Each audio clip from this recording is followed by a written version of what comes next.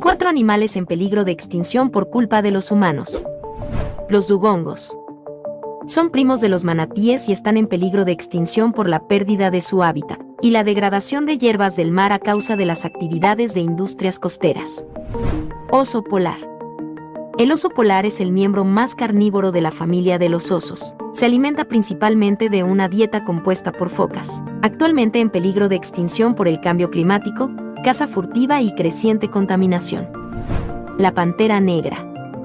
Es el más raro de todos los leopardos manchados. Estos animales son conocidos en regiones de la selva de India y sudeste de Asia. Las panteras es una especie en peligro de extinción porque se cazan por deporte y para el comercio de pieles. El tarcero.